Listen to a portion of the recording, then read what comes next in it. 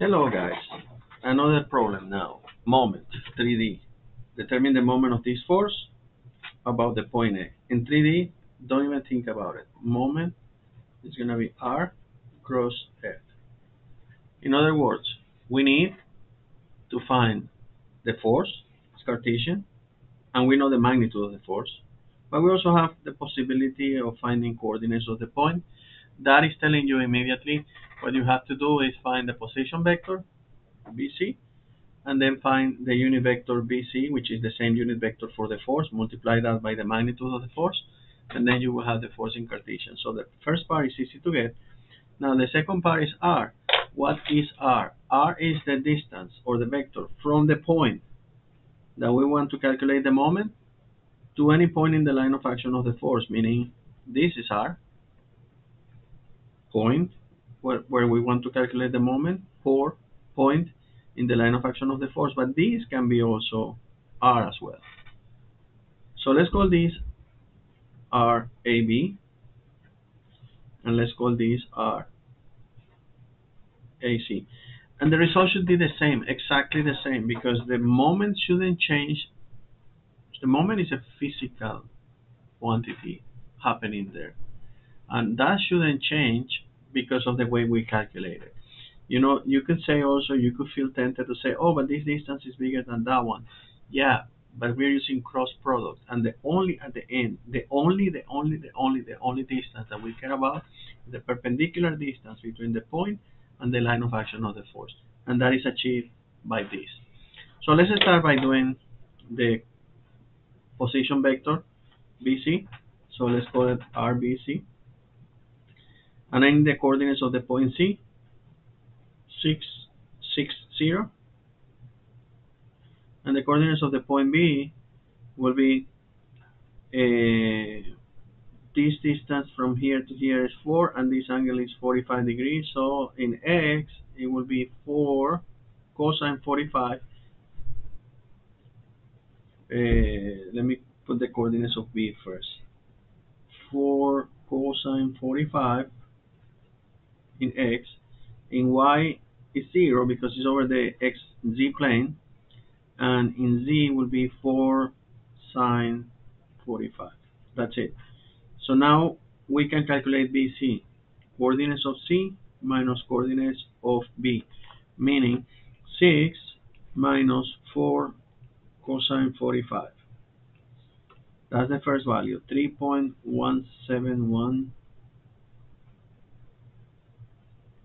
3.1716i. Perfect.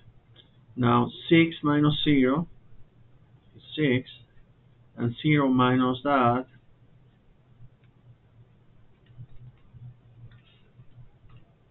is 2.8284 okay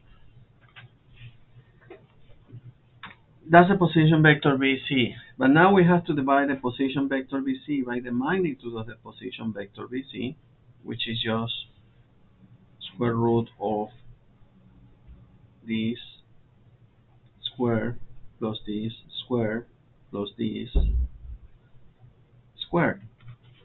So let's do that. This square plus 36, which is this, plus 3.1716 squared. And I take the square root of that, elevate it to the 0.5, and then I get 7. Point, I'm just going to put that number here, the magnitude, 352, in case I need it later on. And then what else to do? This is a unit vector in the direction of BC, which is the same unit vector of the force.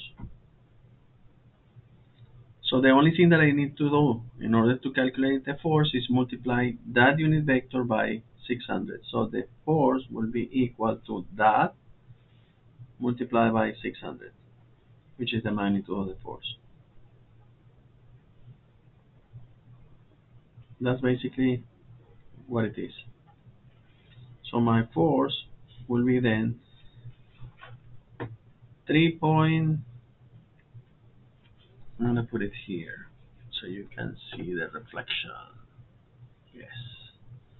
3.1716 divided by the value that I got before, multiplied by 600 to convert it into force.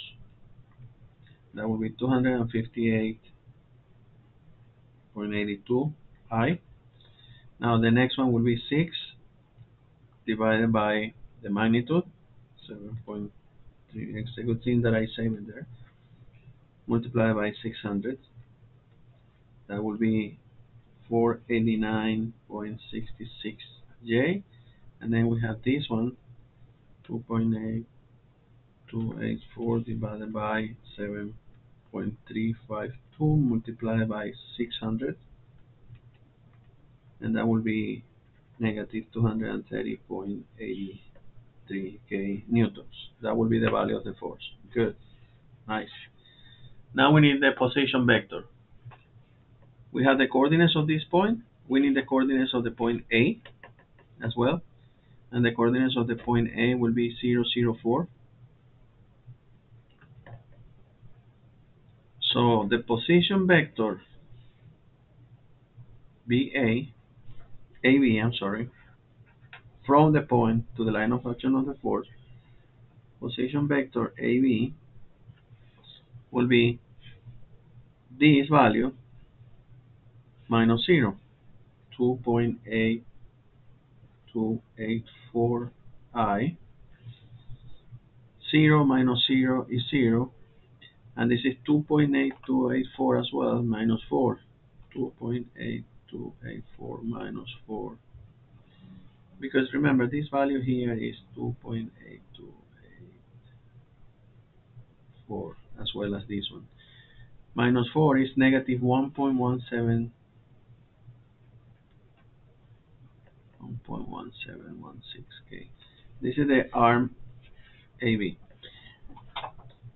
And just because I said, just because I, I could use these two and that's it, but I want to demonstrate that it's the same if you use this arm or if you use this arm. So let's just for the sake of doing this twice and compare, let's calculate the unit vector AC, even though the position vector AC or the arm AC, even though you don't need it, it will be 6 minus 6, 6 minus 0, 6 minus 0, 0 minus 4, so it will be 6i plus 6j minus 4k. That will be the position vector AC. Now, the moment is r cross f. So let's try first with the first r, and let's put here ijk. Let's put the first r, 2.8284, negative 1.1716, and the force.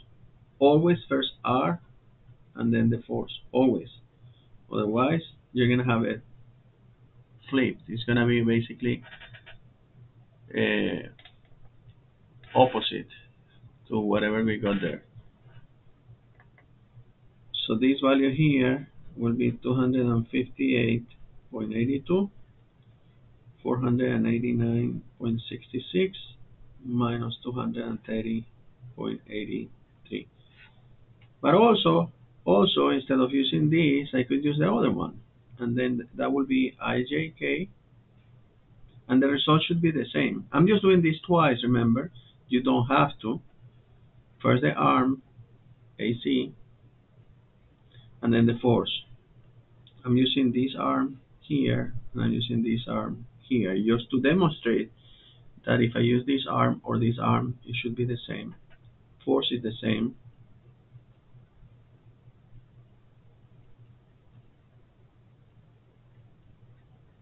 That's it.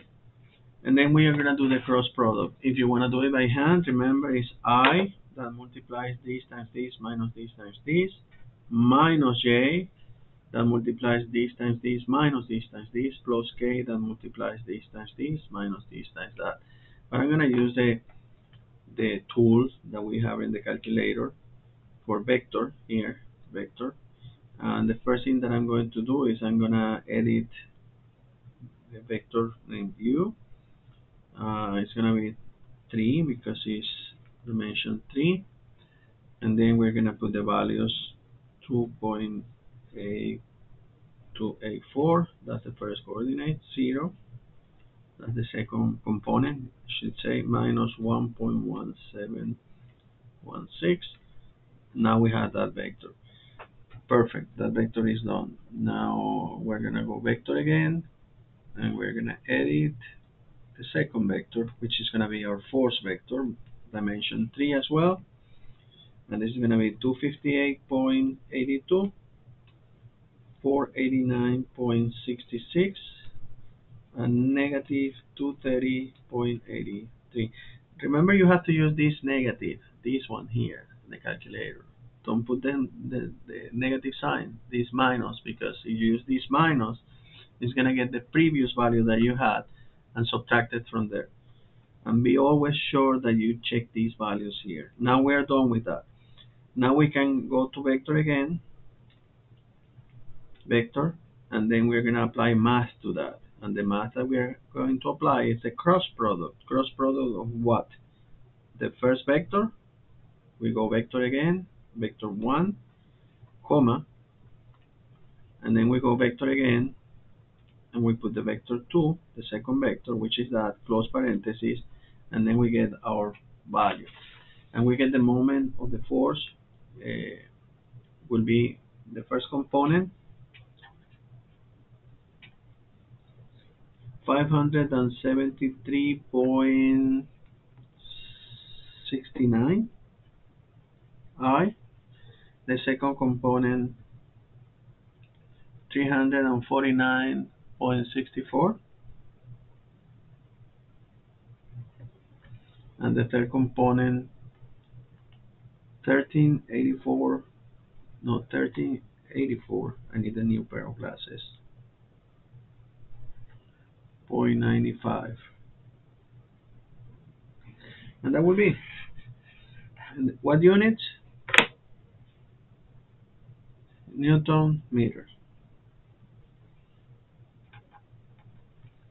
now that will be the answer but I'm gonna use this one just to check that what I was saying is correct. So let's go back to vectors and let's let's use the first vector. I'm gonna change it. I'm gonna edit the first vector. It's a dimension 3 as well. And now we have 6 the second value is 6 and the third value is negative 4 and and then we do r cross f. F is the same. I didn't change the second vector. So let's use vector and let's do math let's do cross product of the first one vector 1 comma vector but vector 1 now is this one remember.